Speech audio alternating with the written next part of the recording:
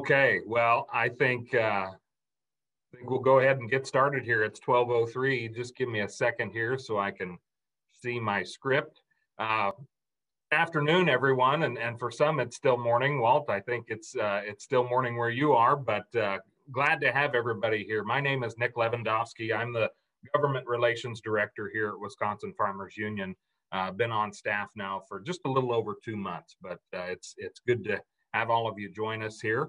Uh, thanks for joining uh, WFU's Winter Meeting Series as we look closely at the challenges surrounding meat processing in Wisconsin, uh, but also on the federal level too, as, as we'll talk about here today, uh, and then determining possible solutions to those uh, challenges.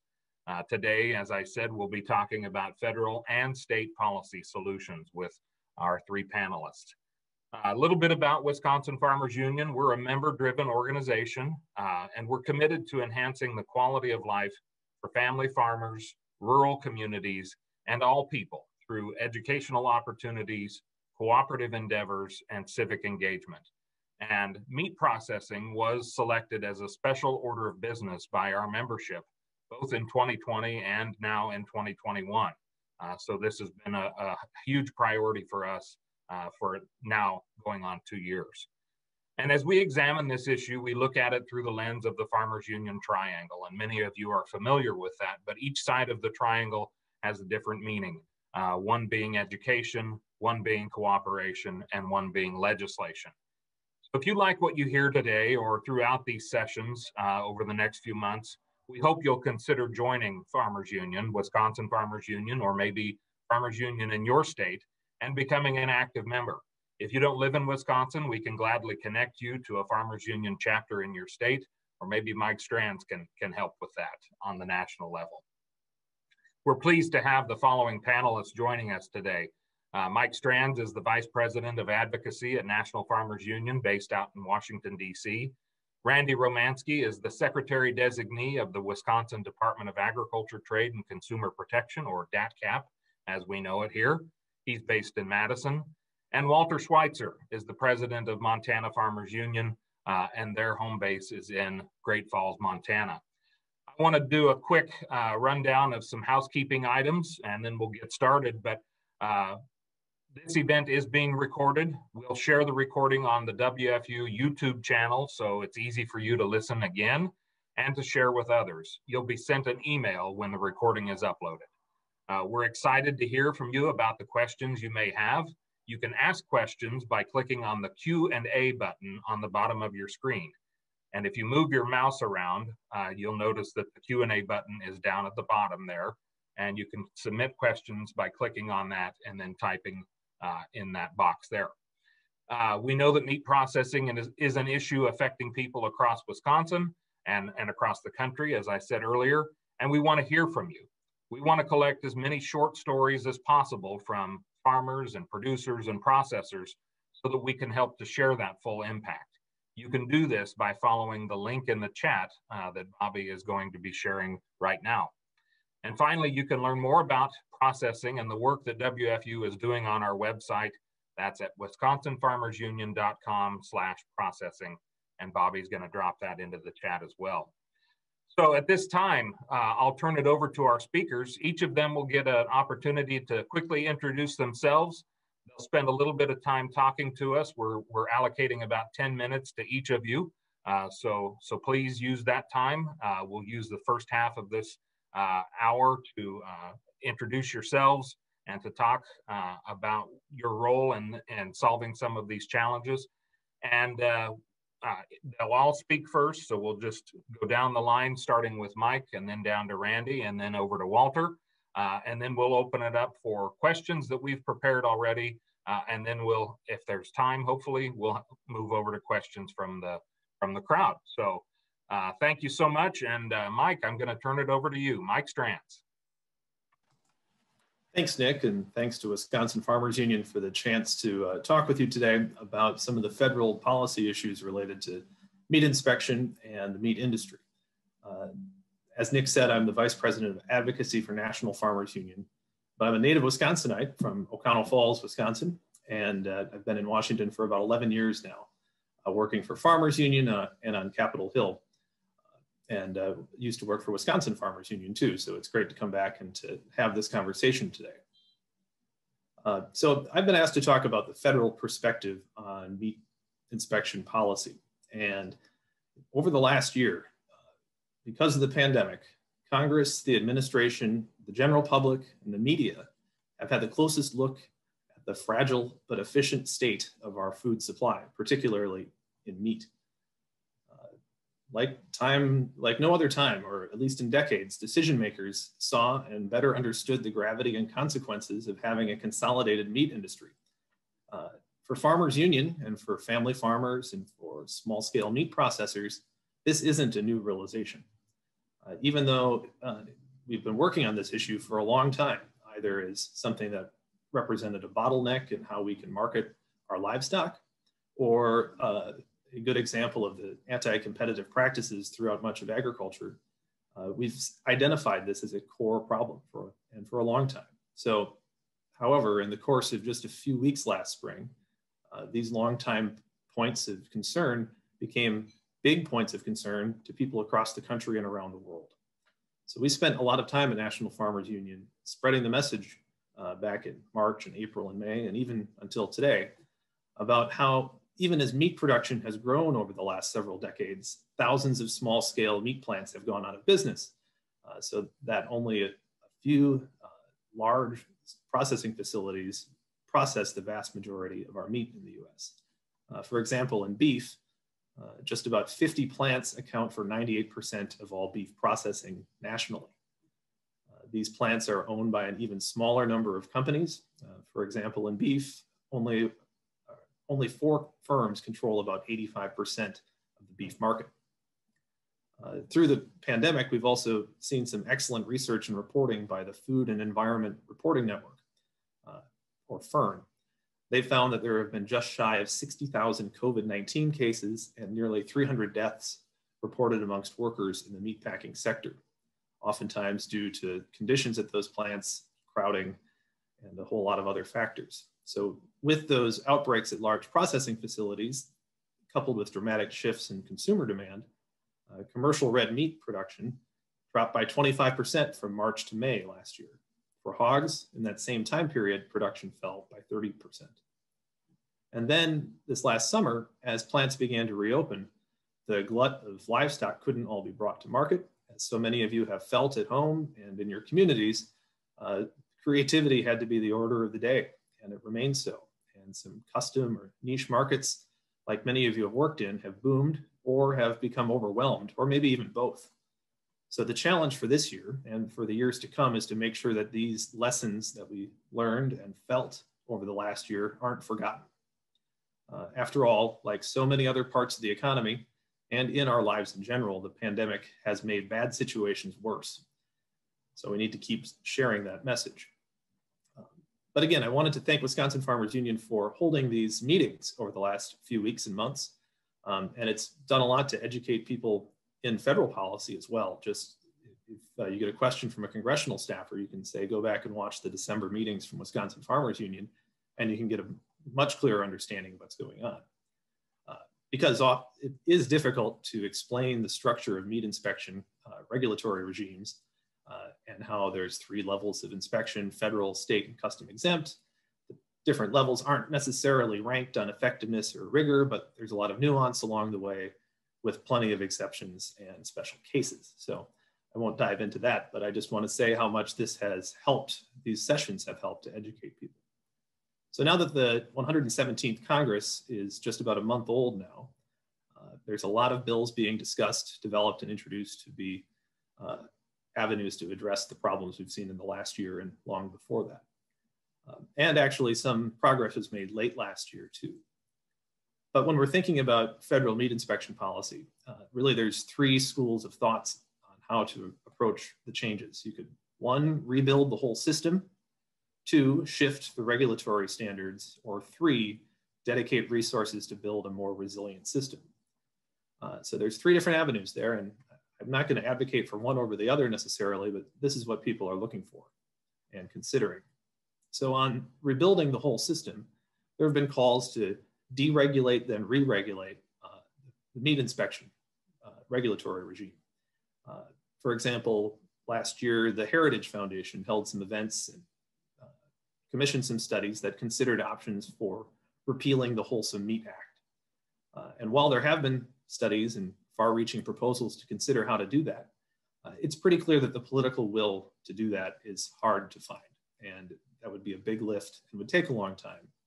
Uh, again, not saying that's right or wrong, but we're not going to be able to start from scratch anytime soon.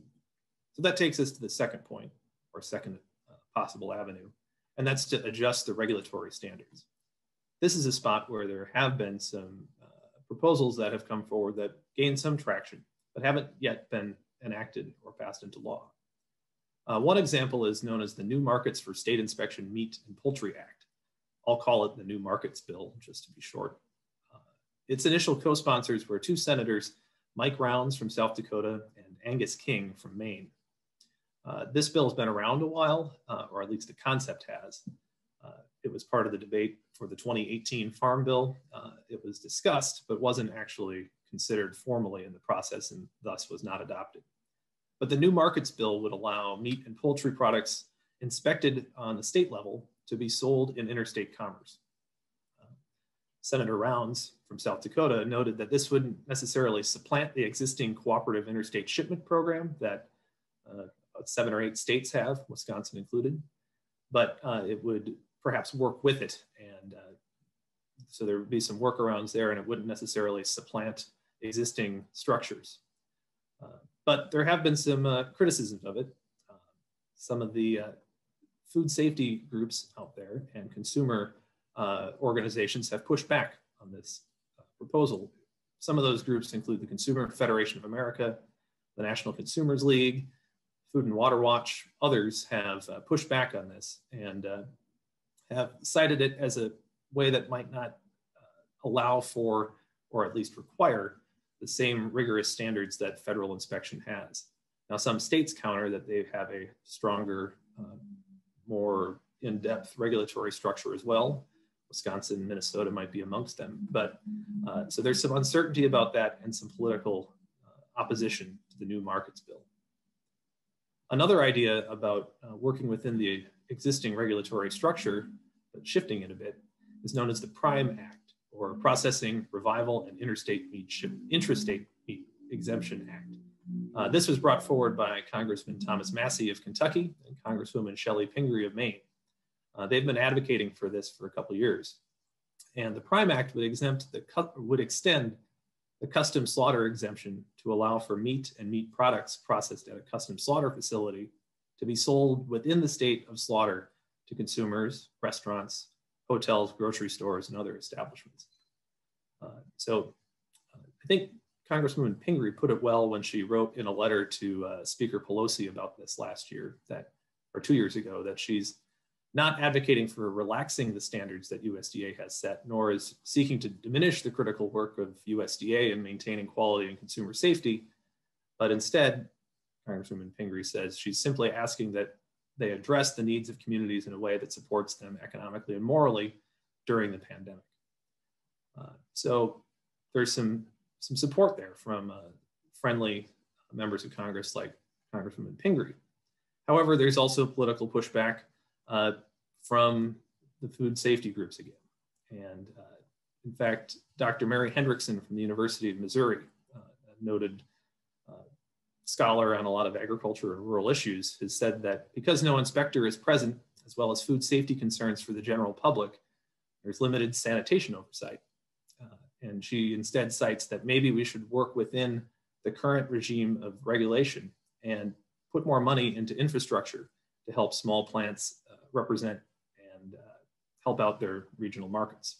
So that takes me to the third option, uh, dedicating resources to build a more resilient system.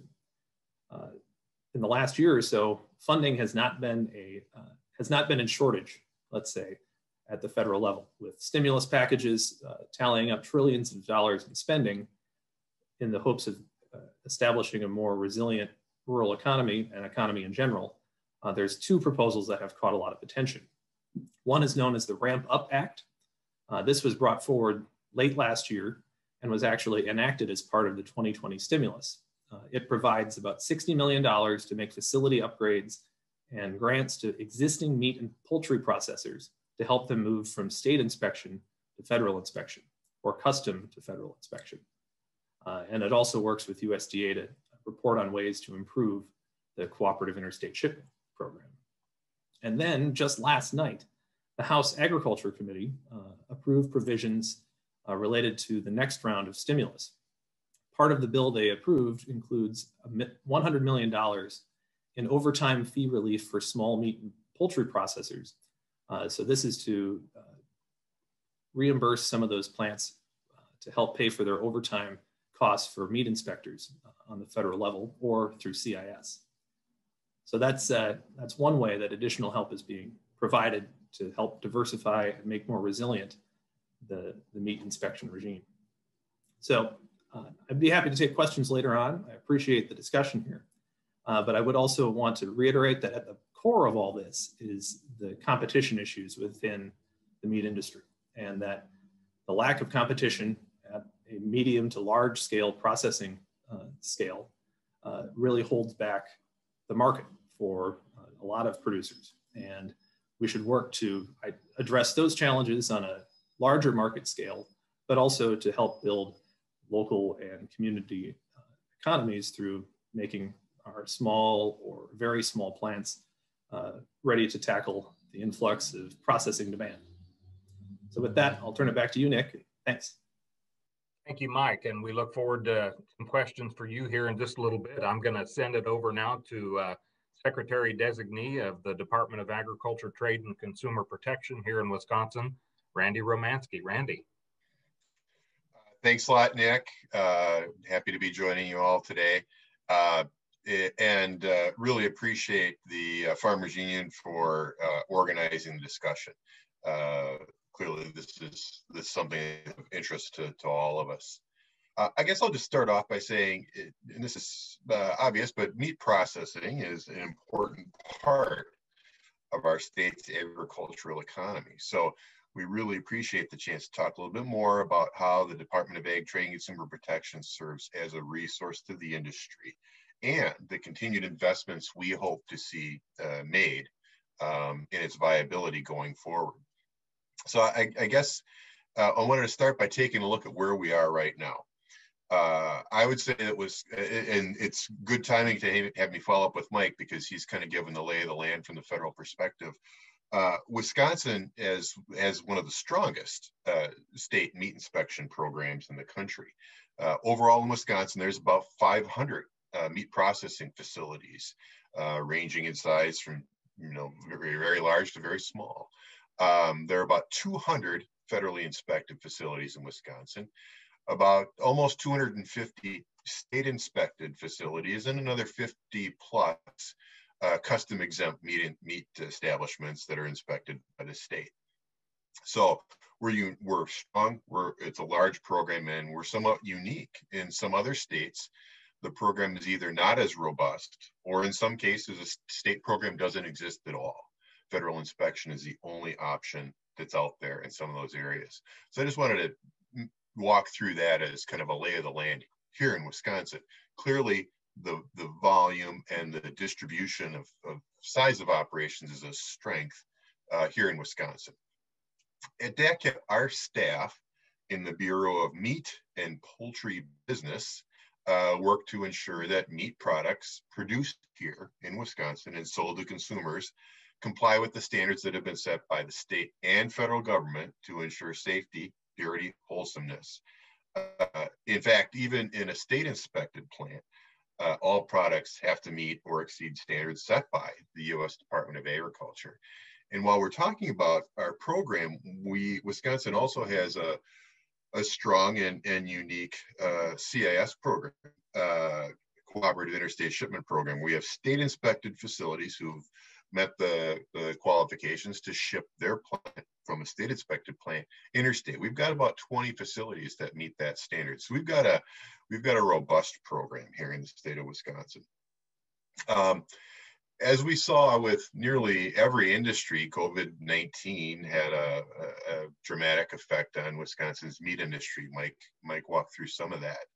Uh, we saw unprecedented disruptions and bottlenecks across the meat supply chain. Uh, in Wisconsin, we were we were fortunate to not encounter some of the issues other states did. Uh, we did not see mass euthanizations of market-ready animals, uh, but clearly bottlenecks uh, were created because of some of the you know some of the plants going down and animals needing to find a place to to move. Um, on the production side, COVID 19 is just the latest in a series of challenges Wisconsin farmers have faced uh, including uh, low commodity prices, difficult weather in, in recent times, and, and obviously trade disruptions. Um, so early on in the pandemic, uh, Governor Evers recognized the essential nature of our agriculture and, and food workforce. Um, uh, he, uh, I know we're going to talk a little bit about how uh, federal dollars have used, could be used, but uh, in Wisconsin, Governor Evers did utilize federal CARES Act dollars to uh, invest in in uh, response to the agriculture industry, including providing $50 million in, in uh, direct aid payments to over 15,000 farmers last year, including uh, from our smallest uh, farm operations to our largest. And we appreciate farmers being part of those discussions. those uh, those payments went to dairy, crop, and livestock operations. Uh, the governor also allocated another 25 million of the Wisconsin Federal CARES Act funding toward helping food banks and other eligible nonprofits adapt their infrastructure to meet the challenges of COVID and purchase Wisconsin food products, including meat, for distribution to people in need. Um, in addition to, to those investments that the governor made, uh, DATCP staff had to shift some of their responsibilities as well. Um, we pivoted to conduct our work virtually, uh, and uh, that included some food safety inspections. Now, critical in-person visits like slaughter inspection, pasteurization checks, those still occurred in person, but our staff conducted hundreds of phone and, and video calls with, uh, with uh, establishments and, and plants that we regulate. Uh, what we saw during that is our uh, the meat processing facilities in Wisconsin, a lot of small Main Street state inspected plants uh, worked more hours, more days to accommodate more animals. Uh, so that's a credit to them uh, that they were doing that. It's also a credit to our staff because our our meat inspectors needed to be there in order for those facilities to be operating. Um, we also established some partnerships. We partnered with the Wisconsin Pork Association to launch a program called Passion for Pork that's designed to connect Wisconsin pork producers with local meat processors who are able to take on that additional capacity that we were talking about. Um, we uh, partnered with the Wisconsin Grocers Association to create a searchable database to help connect local meat processing facility to local grocers to ensure protein could be available in their stores. Um, we've also uh, spent some time advocating for greater regulatory flexibility at the federal level in order to help our local Wisconsin meat processors expand their markets, including across state lines. Uh, flexibility is key. Uh, resources, as Mike was talking about, to invest in resiliency are key. Um, and the other thing I'll say is it's important that any any programmatic issues that any programmatic opportunities that might exist from the federal level, we like to make sure that it doesn't disadvantage uh, state inspected facility or state uh, state inspection programs, uh, so that there's investment opportunities across the board. Uh, we're proud of the work that our, our team at DATCP has done to be a resource to help uh, keep the meat supply chain flowing during the challenges of the pandemic. Uh, however, the, the long-term prosperity of our agriculture industry relies on resiliency, as Mike indicated, and the success of our food supply chain and rural communities. As a state, we need to bolster that agricultural infrastructure. At the same time, we're training workers for the most needed positions from meat processing to food distribution. So as you may have heard, uh, Governor Evers offered a preview uh, last week of his uh, upcoming biennial budget proposal that's going to be released this coming Tuesday evening. As part of that budget, the governor uh, is proposing an unprecedented investment of over $43 million in Wisconsin agriculture.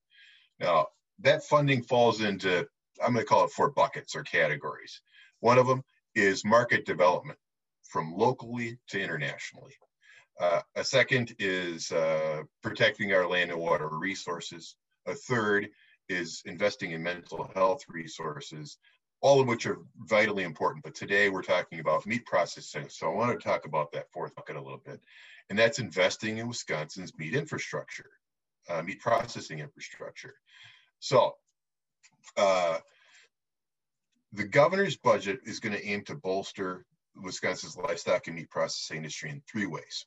Start starting out with uh, creating a meat processor grant program to target the needs of the meat industry. That's going to incentivize innovation, expand Wisconsin's overall meat processing capacity, build out some of that infrastructure and facilities that might not have had the opportunity to do so. Uh, step two is if if we're going to innovate, invest, and modernize and expand those facilities, we have to make sure that there's uh, workforce available. So he's creating and funding a meat talent development program that's going to specifically target meat industry workforce development and help spur uh, growth in Wisconsin's meat processing industry, making sure that the industry has that uh, trained and talented uh, uh crew of, of workers that are, are ready to help uh, expand operations, grow grow uh, the opportunities for Wisconsin's meat processors, whether they're just down the street from us on Main Street or anywhere else across the state. Third, and this is an important step in the process, uh, the governor is also proposing adding uh, additional meat inspector positions at DATCP. Uh, they ensure a safe, secure food supply um, as we see these investments by our meat processors. Uh, but uh, here's a key thing is as we see uh, our our state inspected facilities um, try to innovate and, and uh, and accommodate additional animals, um, uh, we need to have our state inspectors there to, to oversee that. We don't want to have a lack of resources at that point slowing down the industry.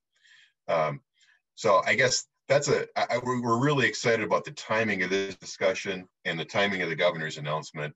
Uh, he's going to introduce his budget uh, next week. So uh, this is the start of a long process. Uh, more details will come out during the governor's budget proposal next week. But we wanted to share this information because uh, this is a, an exciting opportunity to invest in the industry.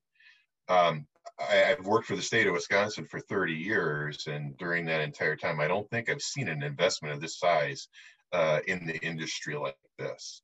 Um, and I guess I'll just close by saying I think I think there's more that we that we as the state uh, agree on than we disagree on.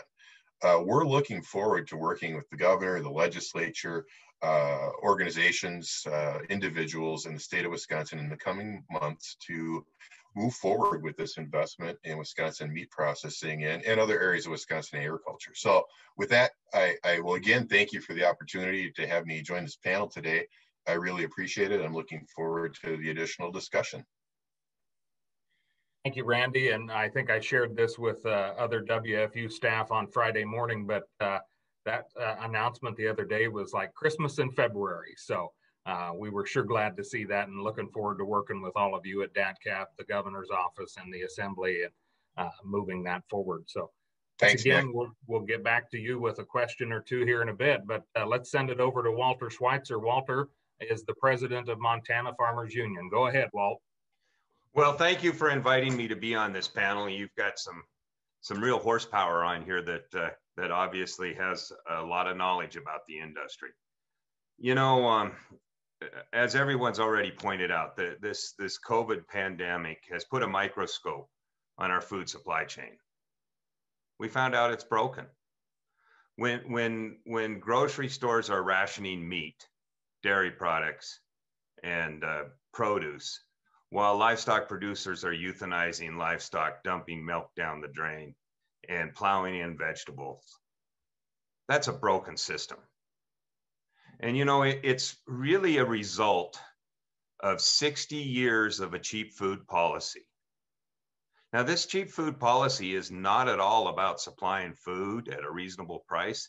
It is about corporate control of the food dollar You know, I, I fancy myself as a young farmer, but as you can see, I'm more of the average age of a farmer in Montana.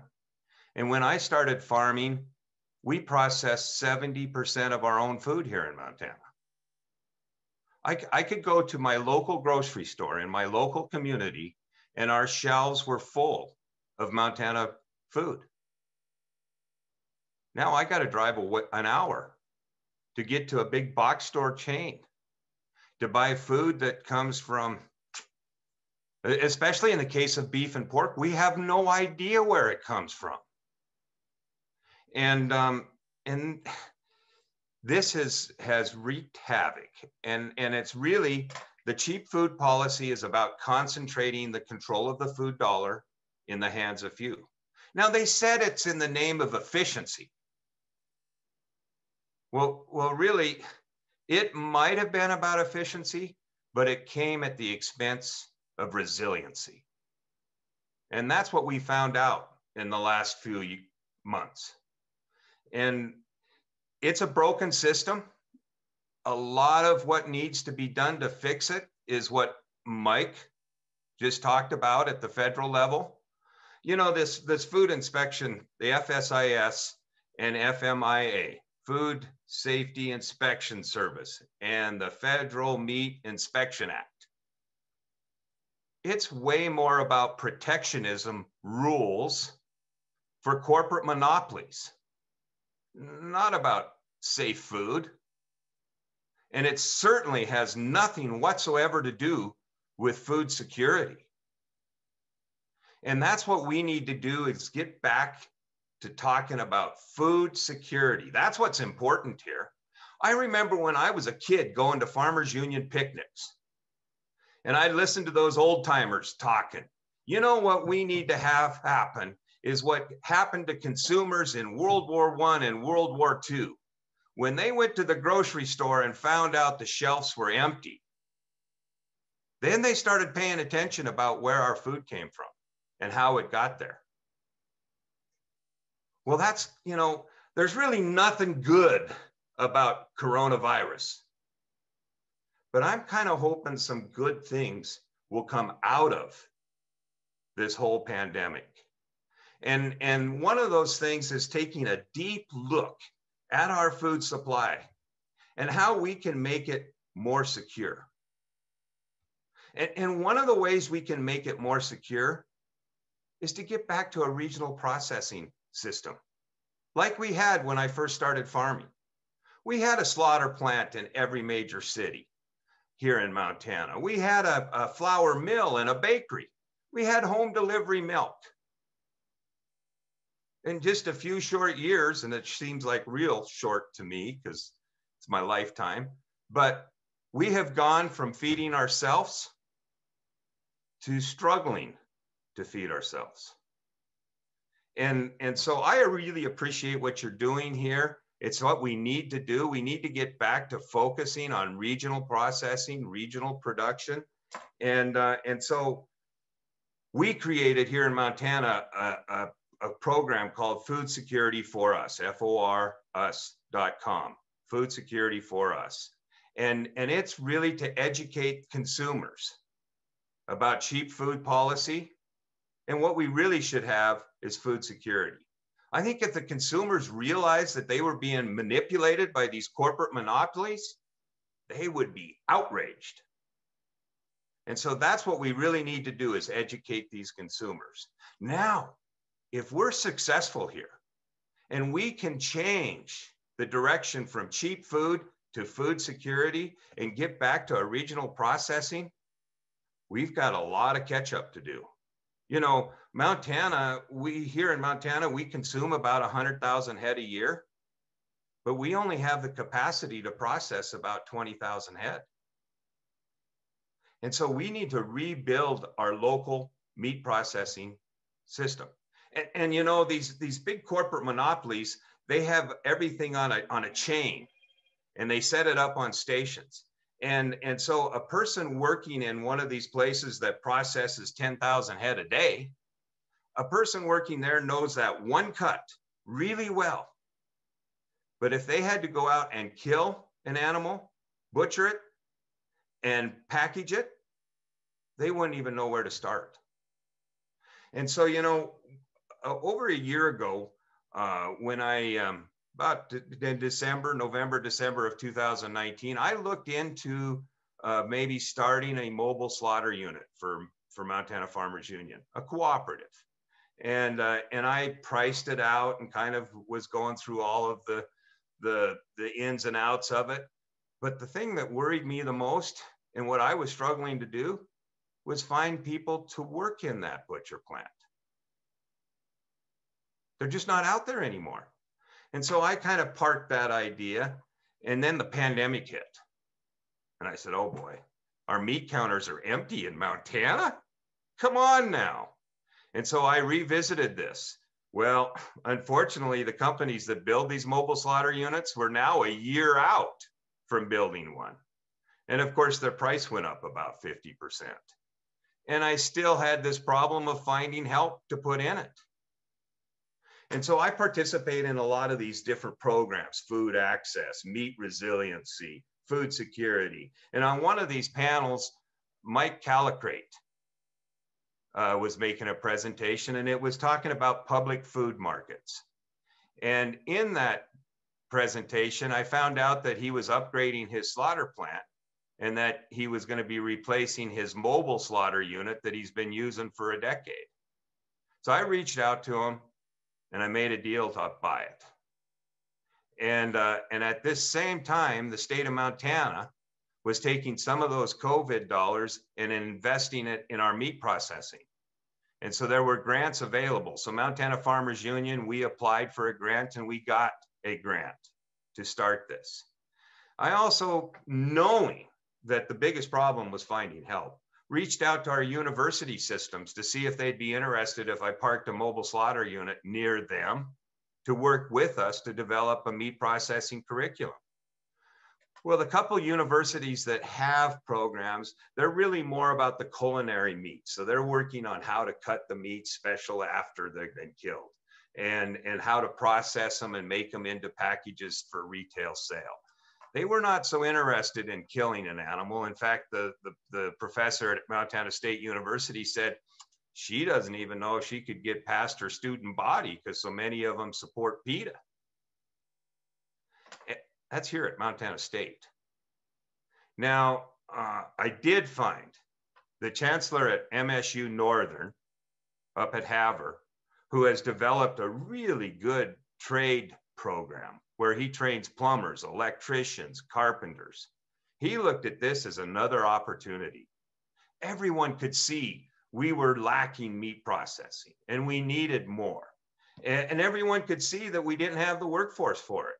So he was all about it. So we've been working with him to help develop a meat processing program at MSU Northern that starts at the harvest and goes all the way through to the retail. It'll be a one year program and a four year program so that we can train managers in these plants. Because, you know, you really need to know how to navigate the regulatory maze that's been created by the corporate monopolies to prevent local meat processing. And so they're going to have a, a, curriculum that teaches business management, regulatory management, and um, and how to butcher. And, and so then we've also been working with a steering committee because I'm setting this meat processing unit up as a cooperative. It's going to be owned by the producers here in Montana. And many of them are direct marketers. But you know who else is going to be in this? The food banks. They're struggling now too to find protein to be able to put on the shelves of their food banks. And um, and you know, it's I don't know how ridiculous it is in, in Wisconsin, but we have here in Montana, the custom exempt butchers cannot process livestock for the food bank. Now they can produce they can process wild game for the food bank. You know what? They can even take roadkill and process it for the food bank but they can't process my cow? How insane is that? And, and this is regulatory regulations that are put in again, not about food safety, but protectionist rules. And, uh, and so the food banks are excited about this because we have many people who are wanting to donate livestock to the food banks, but they can't find any place to get it processed. I mean, right now we're over a year out to schedule a new kill in Montana. And so they are excited about this. And of course, processing hamburger is a good way to train a butcher. You know, um, I am so frustrated because even if we did get this co op off the ground, unless we do something about corporate control of the food dollar, we're not going to be successful. Period. The fact that consumers cannot know where their beef or pork comes from, how can I compete when these big box stores can bring in scraps from Brazil and South America in general and mix them in with the burger and put it in a meat counter and say it's product of USA? How can I compete when these big retailers can lie, just flat out lie to the consumers? That needs to be addressed first and foremost. If we get country of origin labeling back, if we start to enforce the Sherman antitrust laws, if we reinstate the Packers decree, we're going to need to be able to fill the void. We need more butchers and we need more butcher shops. And so, what you're doing here in Wisconsin right now with this uh, panel is awesome. We need to do that in every state, every region. Thank you. Well, thank you, Walt. And, and uh, I don't know, but I, I, just wish you'd get more passionate about this. we, we're going to call you Preacher Walt, I think, when it comes to this issue. You're you you hit the nail on on every one of those. Uh, so we appreciate that. You're getting a lot of great comments from the the crowd there. But since you brought up cool country of origin labeling and antitrust, I want to turn that back over uh, primarily to Mike, but anybody really on the panel that wants to speak to that. But Mike, uh, country of origin labeling came up in uh, soon to be Secretary Vilsack's uh, uh, confirmation hearing uh, in the Ag Committee the other day. he mentioned that as a possibility of, of readdressing that. You know, that came up the last time he was in that position in the Obama administration. But talk about that. You know, what are the possibilities of country of origin labeling coming back in this new Congress? Certainly, yeah. Uh, thanks for bringing that up. And the uh, National Farmers Union supports country of origin labeling. We're looking for ways to get that back into effect. Of course, that you know, just in case, uh, as a reminder, we had country of origin labeling effectively in place from 2009 uh, until 2015. Uh, there were some changes in how it was enforced or put into effect, uh, depending on how the label was listed. And that was due to uh, appeals from other countries involved in the World Trade Organization. And the World Trade Organization ultimately found that the way country of origin labeling was being run in the US uh, was counter to WTO uh, restrictions, and that other countries thus had the right to retaliate against the US as a punitive measure uh, because Canada and Mexico, namely, uh, determined that they were being unfairly and unjustly uh, affected by country of origin labeling. So once the, the threat of retaliation was around in 2015, USDA uh, or Congress acted to uh, repeal country of origin labeling. that's what happened in 2015. So since then, Farmers Union has been looking for ways to bring this back up. We had some hope that the Trump administration might lead this, given a lot of the uh, talk about uh, Made in America. That didn't come to pass. Uh, so now, last week or two weeks ago, when Secretary Vilsack's uh, hearing happened and he was open to, to country of origin labeling, but was curious on how WTO would factor in this. And that's an unresolved question. Uh, we're part of the World Trade Organization, and uh, it was up to Congress. We could have uh, faced the retaliation from other countries through trade penalties and still had country of origin labeling, but it was determined to not be uh, acceptable by Congress when it was repealed. So uh, I think what we'll need to do in the coming weeks and months uh, is to regroup and figure out how we can address country of origin labeling and still and not run afoul of the WTO. Uh, Secretary Vilsack could play a role in that, but again, he, it's not just up to him. Uh, there's Congress may have to be involved in this. Will likely need to be involved in it, and uh, even if uh, Secretary Vilsack wanted cool, uh, the issues as they are might make that very very difficult. So we're looking to how to do this best, but uh, it's not clear at this point. I love Mike, and I'm really glad he's in Washington, D.C. fighting for us because he does it a little politically correct. I'm not so much. So here's the whole story that Mike's not telling you is that the Packers in Canada and Mexico got Canada and Mexico to file a complaint with the WTO. Now, remember, these are the same packers that we have here in the United States. The, the number, the biggest four are the same packers in every major beef and pork producing country in the world. And they don't want to distinguish the difference between Brazilian burger and US beef.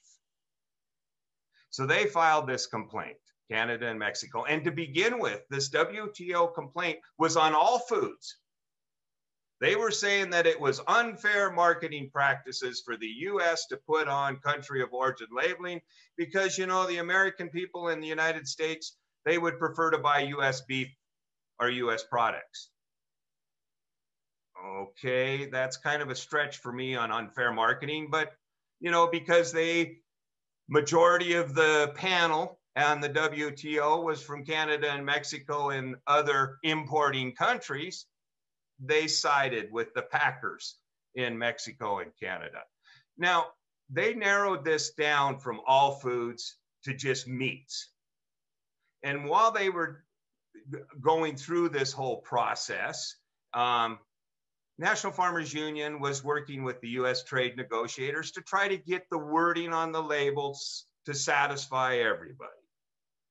And um, during this process, and again, they had this ruling that they could put retaliatory tariffs if the United States labeled meats with a country of origin.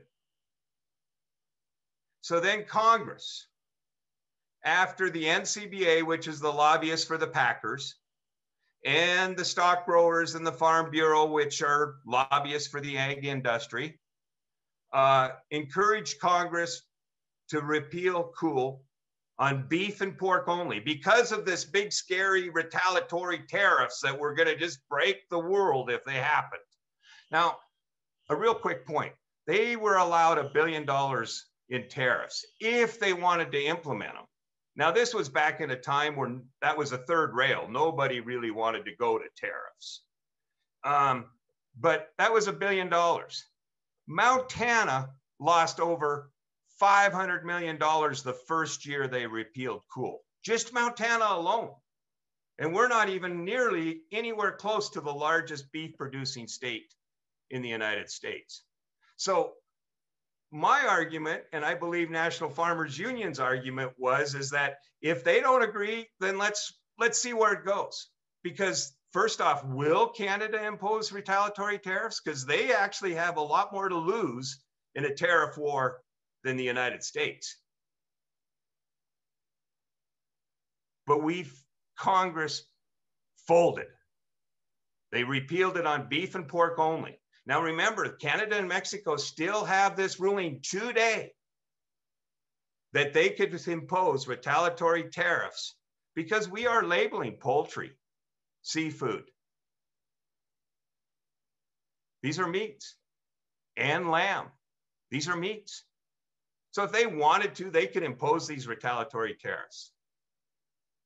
So really, that's kind of what happened with Cool. Thank you, Walt. Appreciate that. It, it's good to have those two different perspectives. It's it's great to have that. I'm going to move over to Randy real quick. Randy, you mentioned the governor's budget, and, and we're very thankful for that uh, that influx of, of dollars, that wonderful investment. But I've got a question here from uh, one of our attendees asking, uh, and I know that there's not a lot of details yet, but She's asking, will there be a mechanism to ensure that state investment benefits Wisconsin farmers? Will processors uh, that receive the investment dollars be obligated to serve in-state producers? Or could they potentially take state investment and then serve primarily out-of-state customers? Any thoughts on that? Well, uh, thanks for the question. And what I would say is you started in, in the right place, Nick we don't have all the details yet. We'll we'll see more about what happens in uh, when the governor introduces his budget next week. But let me also just say one of the things that that uh, that I wanted to say because I wanted to I wanted to kind of take a step back from it and say what can we all do? Well, number one, we can participate in these uh, in these great discussions like we're having. Like Walter, I like Mike too. So um, uh, it's it's good that we can that we can all learn from each other. But what I wanted to do is is focus on you know what the governor's proposed, and what he's proposed is a look snapshot of what can we do, how can we make investments, and what are our opportunities. And what I would say is our opportunity is to build on the strengths of Wisconsin agriculture. Agriculture is a $104 billion industry in the state of Wisconsin. About 40 plus billion of that is meat and livestock. Uh, that's a good strength to draw on. We're really fortunate. I mentioned on the on the front end, we have about 500 meat processors in the state of Wisconsin, ranging from that small plant just down the road to bigger operations. And, and so what the governor is proposing is to invest in that infrastructure. So maybe I should take it, wind it back just a little bit to, to kind of, uh, I'll say paint the picture. Kind of already been painted already, but again, when I talk about building on the strengths, our state has, it, we've got these 500 meat processing facilities, but we also have this long history of artisan sausage making, cured meat, specialty meat processing, and a number of smaller state inspected meat processors producing locally sourced meats. And, and our number of facilities like that are among the highest in the country. So that's a strength that we can build from. So what did we what did we see? as as we've as each of the panelists have probably identified, COVID-19 accelerated and, and illustrated several growing trends in this industry. It highlights, back to my word here, opportunities for investment. What can we do? First, farmers turn to their local butcher for processing, but consumers also turn to their local processors for meat there's been a trend toward increasing consumer demand for locally produced food. That hap- that was happening during the pandemic. Um, second, existing infrastructure was showing its age. Uh, many processors found themselves in need of additional space, uh, especially when some of those larger facilities went down and we started to see this bottleneck being created but especially for cold storage. And processors struggled to find enough skilled workers, which we've we've been talking about to meet the increased demand. Uh, so, because demand for locally processed meat has increased and capacity has not yet expanded in some of those smaller facilities, we've talked about this. There's long waits for farmers seeking to have an animal butchered at a local establishment. So, what we need to do is invest in modern facilities, expanded infrastructure, uh, that'll help ensure the continued movement of food through the supply chain and help position Wisconsin. I think I, I would continue uh, to position Wisconsin as a leading producer of artisan meats. We've got that infrastructure in place. And what the governor is proposing is to allow us to build on that. Now, talent development's key. I, I was taking some notes when Walter was talking there is can't find the workers and uh, I saw that somebody popped up something in the in the link, and then Morgan popped something up in the side link about how um, there's a program at Madison College that our staff helped to work through. Uh, we need to invest in that talent development. Again, Wisconsin has a tremendous opportunity before us. We've got uh, four-year uh, four-year colleges, some of who, have uh, uh, programs that could help uh, the tech college system, uh, we have programs there that can help. We've got an opportunity to provide basically like a short course for training those who are interested. And again, we've got we've got the universities, the the new university meat facility. So Um, we've got opportunities. I think the time is now to make those investments to build on that strength, and we've got we've got that foundation. Um, so we're looking forward to uh, uh, to the opportunities. We think the great opportunity for bipartisan support for what the governor's proposed, and and we really appreciate the positive uh, positive comments of Wisconsin Farmers Union thus far, and and uh, what the governor's proposed, and look forward to working with you on on moving forward with that.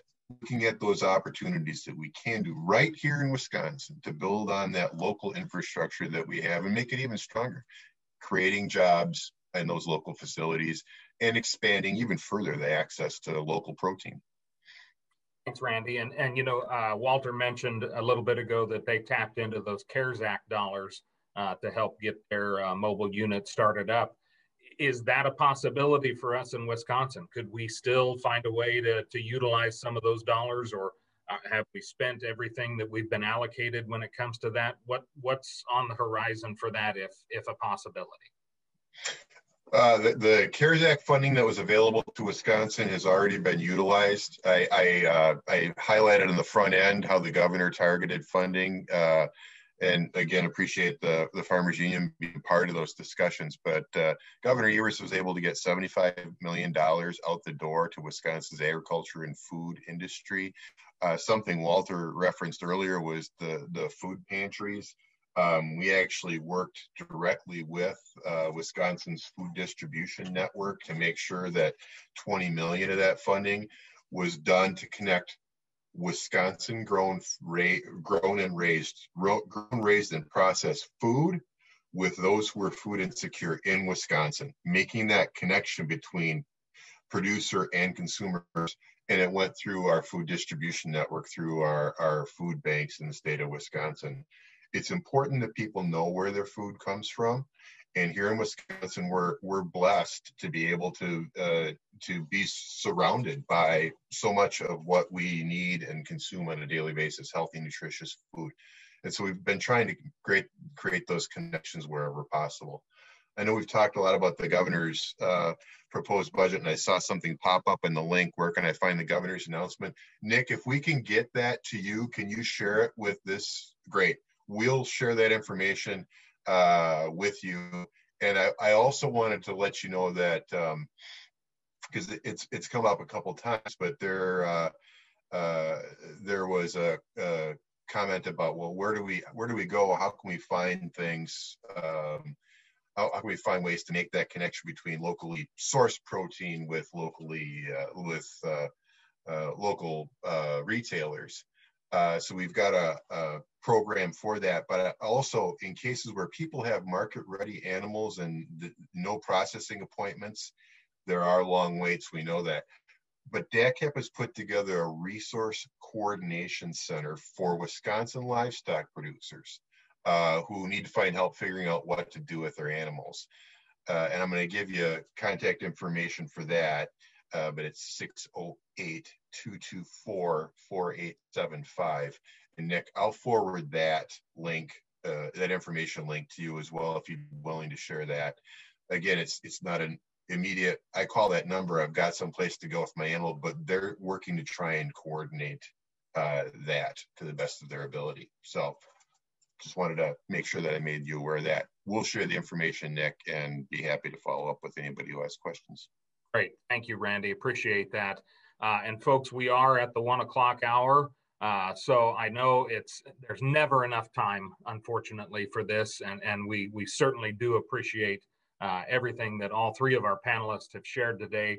I'll just give a quick opportunity. Any any closing remarks anybody wants to wrap up with before I uh, finish up with our last bit of house cleaning, housekeeping. You, you, I, I don't know how it is in Wisconsin, but I bet you Randy probably knows. Uh, here in Montana, uh, our universities, our schools, um, they can't process food anymore. They get these TV dinners that they prepare in, from Sysco and and and give it to our kids, and we, and we really don't know where that comes from. And we've been working with our universities and getting some traction to start feeding more local grown and raised food. But you know, that means they have to change their kitchens a little bit so they can process and cook food again. As long as Walter opened that door, I'm going to run through it. I'll do. I'll try and do it quickly. So you got me smiling because you've just touched on another thing that's in the governor's budget, which is promoting our farm to school, farm to fork program. We have a farm to school coordinator in Wisconsin. We don't have funding for a program yet. The governor is proposing funding for that farm to school program so we can build on some of that. So Walter, thank you for doing that. I promise everybody we didn't coordinate that in advance. Uh, but the but the other thing that that's also in the budget, and Nick, this is for another day, but I want to say it as long as Walter brought it up, is a farm to farm to fork program, which is kind of like a farm to institution program. So you can go to the local hospital or other uh, facilities like that, so you can get locally sourced products in those facilities. So I better stop there, otherwise it'll take up another hour about that program. But thanks, Walter, for opening that door. And thanks everybody uh, to, for having us on today. You bet. Thank you both. Mike, any last comments? Uh, two last things. Uh, just to keep two things to keep an eye out for. Uh, with the next round of stimulus funding coming up, there's a large chunk of money that is going to be made available to USDA to use for resiliency in the food system. And that can go be taken a lot of ways. There isn't a lot of parameters set on that. So the incoming USDA will have a, uh, and today's USDA will have a lot of uh, leeway about how to spend that.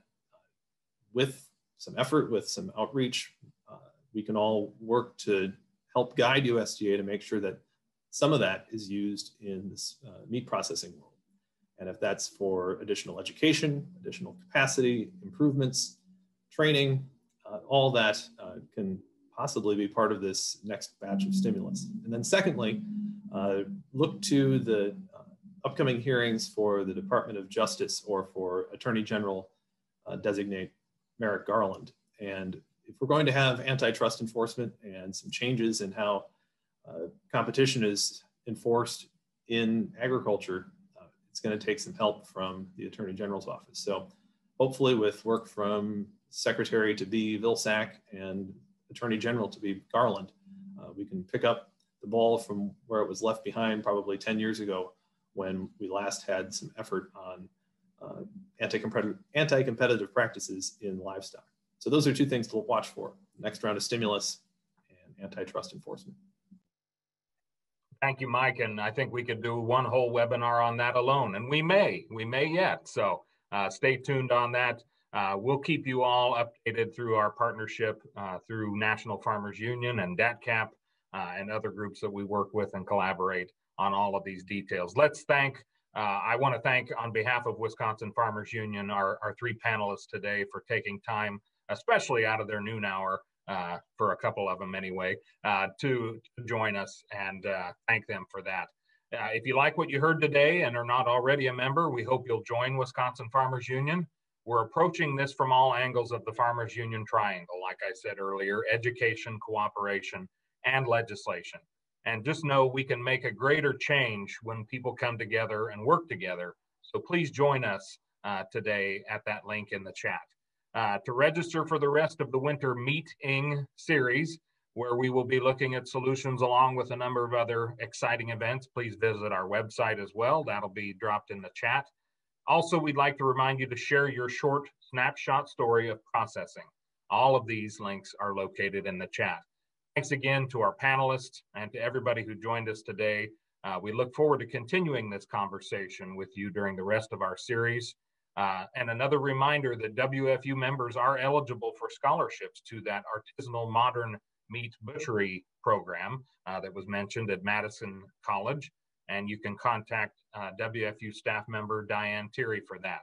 So thanks again. We'll get this recording up on our YouTube page here after a while. Uh, you'll get an email on that. And for those that we didn't get to your question, we will lift those out of the chat and we'll try to uh, target those to the panelists uh, that we need to and get those answers back to you as soon as we can. So take care, stay safe, stay warm, and uh, we'll talk again soon.